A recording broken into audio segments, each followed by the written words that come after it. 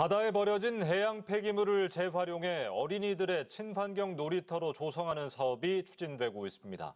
이 사업에는 세계적으로 다양한 업사이클링 활동을 펼치고 있는 글로벌 환경재단이 참가해 관심을 끌고 있습니다. 김진구 기자입니다.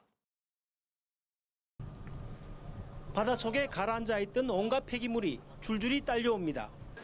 엄청난 크기의 천막과 수초가 잔뜩 붙어 있는 타이어, 심지어 자전거도 눈에 띕니다. 바다 오염과 항만 안전에 위협이 되는 이런 해양 폐기물이 울산 항에서만 1년에 60톤가량이 배출됩니다. 그동안 소각이나 매립되면서 환경에 부담이 됐던 해양 폐기물이 어린이 놀이터 조성에 재활용됩니다. 항만 폐기물은 기존에 수거 소각 처리되어 대기 환경에 많은 부담을 주고 있었습니다. 이걸 재활용하는 방식으로 전환하여 지역사회 어린이 놀이 공간으로 조성하는 사업을 착안하게 되었습니다.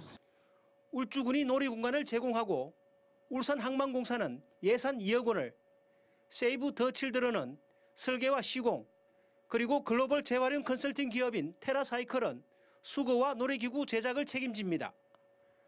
그동안 기업, 자치단체와 협업을 통해 다양한 재활용 사업을 펼쳐온 환경재단으로서도 이번 사업은 의미가 큽니다.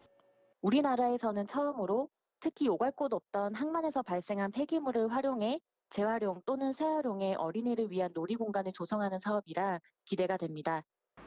어린이 놀이터는 온양읍 대안리 겨루공원에 내년 하반기에 완공될 예정입니다. 해양 폐기물이 친환경 놀이기구로 탈바꿈하게 될 놀이터는 우리의 아이들을 미래의 환경 파수꾼으로 길러내는 산 교육장이 될 전망입니다. UBC 뉴스 김진구입니다.